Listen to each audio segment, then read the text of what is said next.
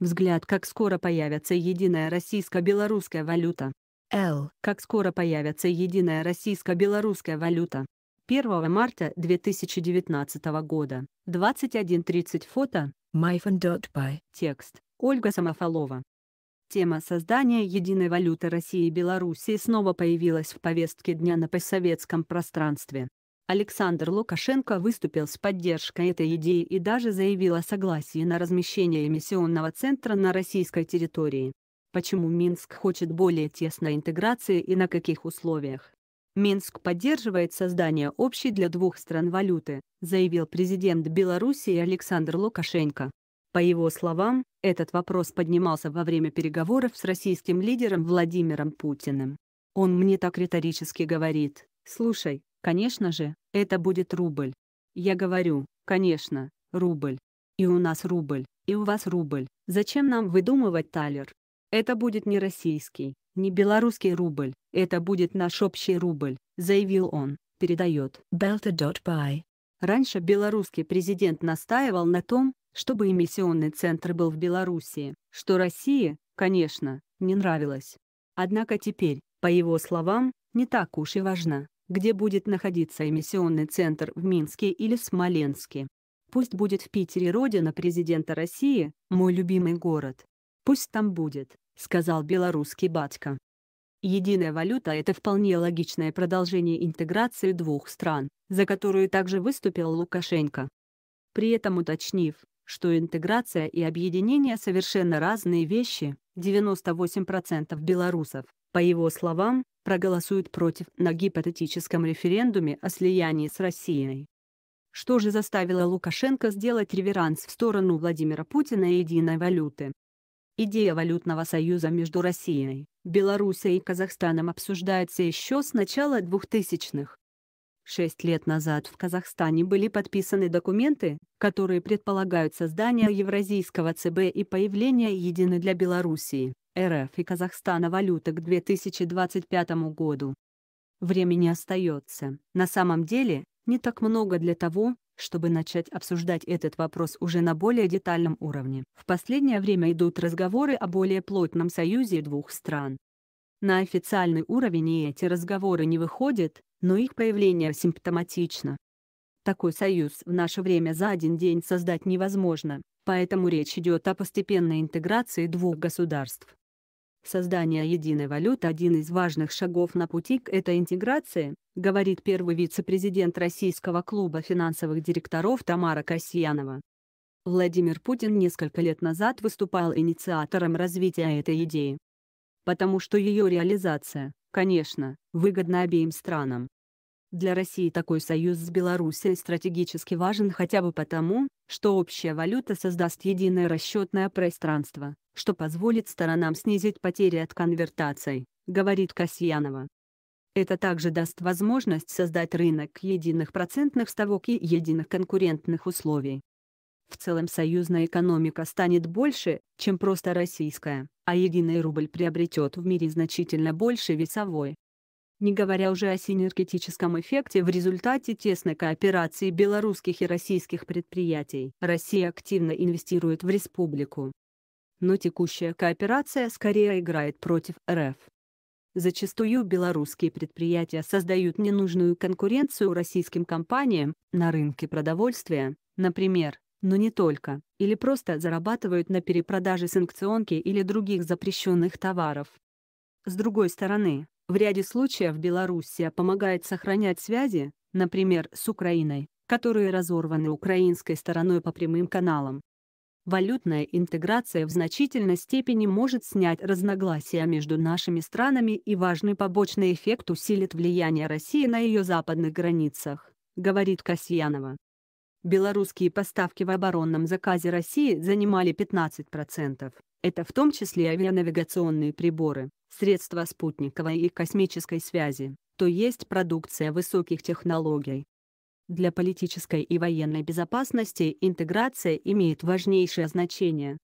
Безусловно, Минск надеется получить целый ряд преференций. Белоруссия сильно завязана с Россией, В частности ее жизнь уже немыслима без российских кредитов. Белоруссия годами получает миллиарды долларов кредит на льготных условиях из Единого фонда стабилизации и развития, а также в рамках целевого кредита на строительство АЭС. Отдает их Минск с куда меньшей радостью, нежели получает. Тесная интеграция решит этот вопрос выгодной реструктуризацией или даже обнулением текущих кредитов. В рамках единой валюты белорусы получат, по сути, весь российский золотовалютный запас, который обеспечит стабильность белорусской экономики. Россия может помогать Белоруссии возвращать еще и чужие кредиты, взятые у МВФ или в рамках обязательств по евробандам.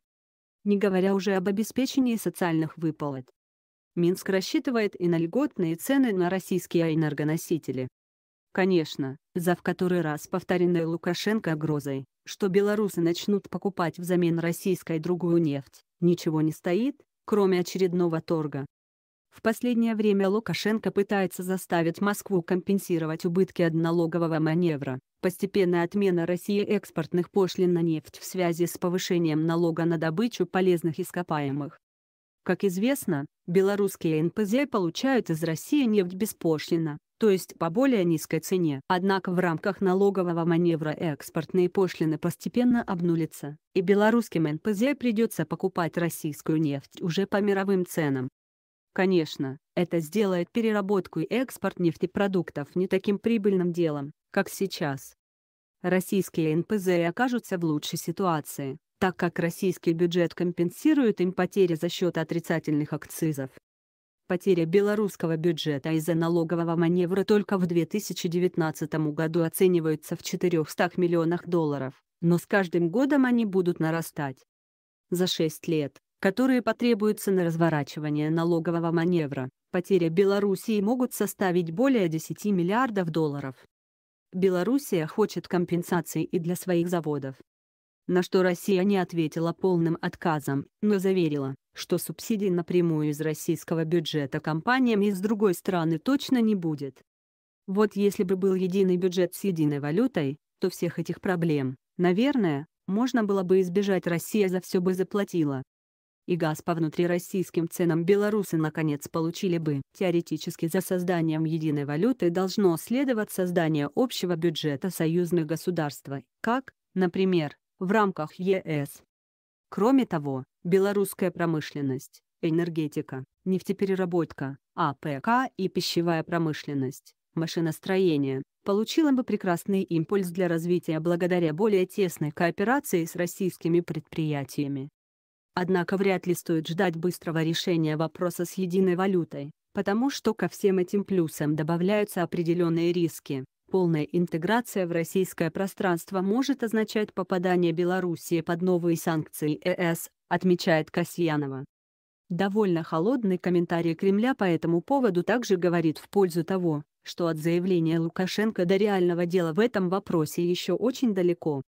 Пресс-секретарь российского президента Дмитрий Песков сказал, что вопрос возможного введения общей валюты России и Белоруссии может обсуждаться в контексте создания союзного государства. Однако какой-либо конкретики в этом вопросе на данный момент нет. Эта тема может и должна обсуждаться, если мы дальше продвигаемся по пути союзного строительства, сказал Песков, напомнив, что возможность этого прописана в документах, как мы знаем, срок создания валюты через 6 лет. Для обсуждения таких вопросов даже есть соответствующие рабочие группы. Некоторая подвижка с тех пор, как было подписано союзное государство и когда бурно обсуждалась тема единой валюты, все же произошла. Тогда Лукашенко сказал очень просто, что ему надо 5 миллиардов долларов каждый год в виде компенсации за то, что он отказывается от белорусского рубля, и все поделить поровну, намекая на то, что золотовалютные запасы России на 500 миллиардов долларов, тоже поровну. Россия на это не пошла, напоминает замдекана факультета мировой экономики в ШЕ Андрей Суздальцев. У Белоруссии вечно претензии на равенство с Россией, несмотря на то, что зависимость республики от РФ огромна, и она хроническая. Смотрится это как попытка хвоста крутить собакой. ВВП Белоруссии составляет не более 2,5% ВВП России, и Лукашенко себя ведет, как если бы эта Панама требовала от США на равных имитировать американский доллар. Из России это выглядит наивно и несколько смешно, но белорусская элита привыкла, что Россия решает ее экономические проблемы. Они, конечно, не понимают, что суверенное государство должно платить за все по рыночным мировым ценам, заключает Суздальцев. Текст. Ольга Самофалова